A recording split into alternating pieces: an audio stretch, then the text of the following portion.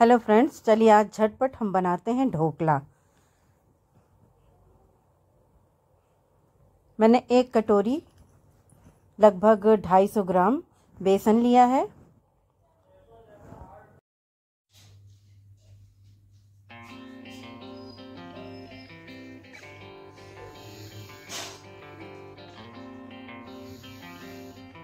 अब हम इसमें एक चम्मच नमक ऐड करेंगे। और एक चम्मच चीनी ऐड करके इसको अच्छी तरह से मिला लेंगे।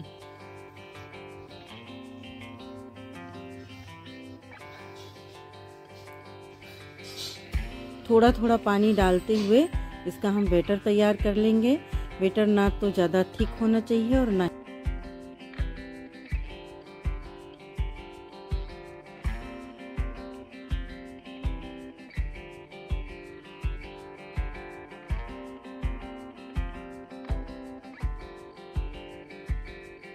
बेसन का बेटर बन करके तैयार हो गया है।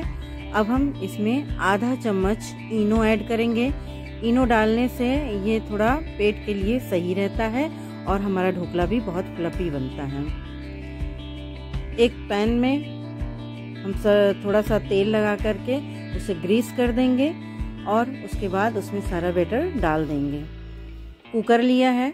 कुकर में हमने एक से डेढ़ ग्लास पानी डाला है और उसमें एक स्टैंड भी रखेंगे, जिस पर हम अपना बर्तन रख करके स्टीम कर सकें। अब अपने पैन को भी हम उस स्टैंड पर रख देंगे।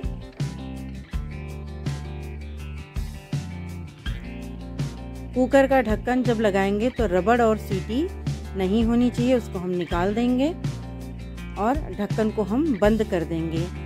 और यह प्रक्रिया लगभग 20 मिनट तक चलेगी।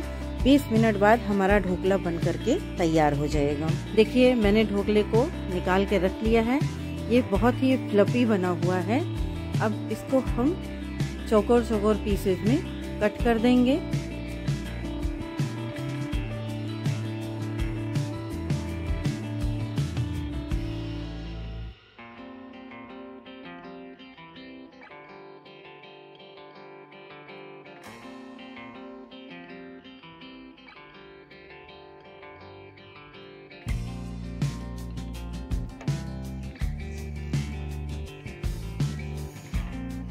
अब हम एक छोटा पैन लेंगे, उसमें वन टेबल स्पून हम तेल ऐड करेंगे। तड़के के लिए एक चम्मच राई लेंगे और लंबे पीसेस में कटे हुए हम हरी मिर्च दो तीन लेंगे। जब यह चटकने लगेगा, तब हम इसमें कड़ी पत्ता ऐड कर देंगे। कड़ी पत्ता डालने से ढोकले का स्वाद और ज़्यादा बढ़ जाता है।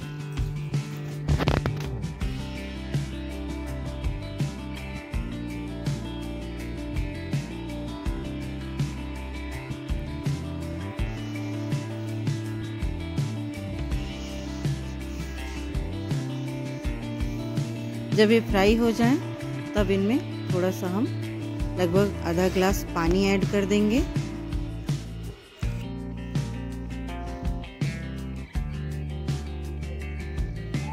फोर टेबल स्पून इसमें हम चीनी ऐड कर देंगे।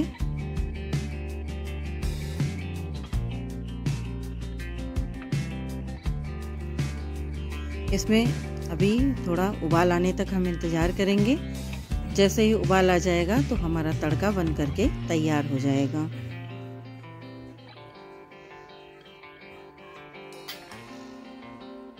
देखिए, उबाल आना शुरू हो गया है। अब हम गैस को बंद कर देंगे। हमारा तड़का ढोकले पर डालने के लिए बिल्कुल तैयार है। मैंने पहले से ही जो ढोकले कट करके रखे हैं, उस पर यह तड़का हम चारों तरफ़ से अच्छी तरह से डाल देंगे।